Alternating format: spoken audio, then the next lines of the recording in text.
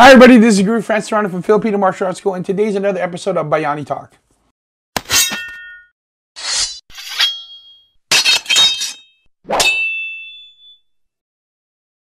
Hi everybody, this is Guro Francis Serrano from Filipino Martial Arts School and today's a, a new episode of Bayani Talk. And with that being said, Happy New Year everybody. By the time you're watching this, the new year would have uh, rung in.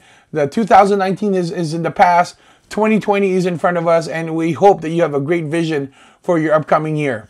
So, um, you know, every so often people ask me to do a demonstration. Um, now, I'll give you this much. I've been teaching Filipino martial arts now for a little bit over 10 years now, and, you know, it's great. And people, uh, you know, every so often I will get an ask like, hey, can you do a demo here? Can you do a demo here? Now, the one thing I'm going to say is this, is that people always asked me, are demos, doing demonstrations beneficial on a business level? Um, Yes and no. The answer to that is yes and no. Yes, it can be beneficial, but no, it could also not yield any fruit. So there's two things that I always tell people when they're thinking about doing a demonstration. One, um, what are the demographics? Meaning, what are the people? Who are the people who are going to be watching you? Okay. And number two, how far is it? Okay. Now, with with in, in any martial arts business, we are geographically locked, and so that means uh, you know I'm I'm here in Riverside County uh, it's going to be really rare for me to get any students uh, anywhere beyond 30 minutes away from here. Now, in many other styles of martial arts school, more than 10 minutes is too far. I mean, we just so happen that, you know, I'm in, I'm in the area where people who want to train with me usually travel about 30 minutes on average just to get to me. I mean, my most senior student comes all the way from San Diego. It takes him an hour and a half, sometimes two hours, depending on traffic, just to come train with me. And I'm very, very blessed. Don't get me wrong, guys. I'm very, very blessed about that. So we are geographically locked. So basically, if somebody was to ask you, hey, can you do a demonstration? You're going to have to ask them where it is. Now, one time I was asked to do a demonstration in downtown Los Angeles. And so I said to them, yeah, I'm going to have to charge you. You know, I'd be more than happy to do a demonstration, but I'm going to have to charge you. And they're like, well, you know, you can, you're going to be exposed to potential students. And I'm like, no, I'm not. Nobody's gonna drive all the way from San from downtown Los Angeles to come to my class in Riverside. They're not. So if you want me to do a demo for you, it's gonna have to cost you. And and then that's when the, the, the discussion broke down. Now, why did that have to break down? Because it's true, guys. I'm most likely not going to get any students that lives all the way in Los Angeles to come all the way to Riverside County just to train with me. It's just not. It's, it's very improbable. And let's say somebody shows up maybe once or twice, they're going to realize how hard it is, how difficult it is to travel from Los Angeles to Riverside to come to class twice a week. It is a very difficult thing. So it is unlikely that there I'm going to ever get any students there. Uh, as far as exposure is concerned, again, it's like it's not like they're gonna go tell everybody that say, "Hey, you should go to this school." No, they're not. I mean, the likelihood is they're not gonna tell anybody because you know it's people's attention span is not that long. So you just kind of, you know, hit it and, you know, do the demo and then just leave. Um, you know, I've been asked to do a demonstration for a basketball game during a halftime. And I'm like, okay, sure. I mean, it was clo- it was uh, it was at UC Riverside, so it's local to me. So I'm like, okay, geographically that makes sense. I can get students from the UC Riverside area. And then it's so funny. It's like then they said, okay, then now you just have to pay us for you for you to do a demo for us. I'm like, uh, run that by me again. You want me to do a demo for you? You're you're calling me to do a demo for you, and you want me to pay you for me to do a demo for you that you're asking me to do for you.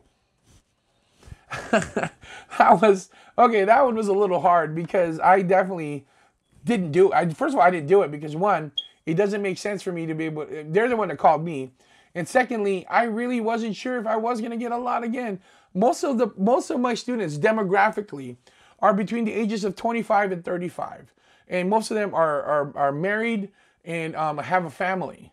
So, you know, as much as I would love to get college students, don't get me wrong, you know, my demographics doesn't support it. Now, if he was to ask me to do it, and, you know, even if they weren't going to pay me, then I would consider doing it. But then I have to pay them for them to do it. It just doesn't make sense anymore. Now, there are going to be times, excuse me, there are going to be times when people are just going to ask you to do them a solid. And again, it really, if you're going to do them a solid, then just do them a solid. So I have a friend of mine who I've known for many, many years.